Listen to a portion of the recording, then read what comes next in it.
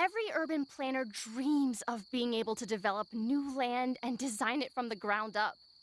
First, you have to prepare the area for the properties planned here.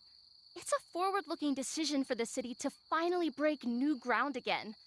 I can imagine that there will be more jobs for your company here once the site has been developed.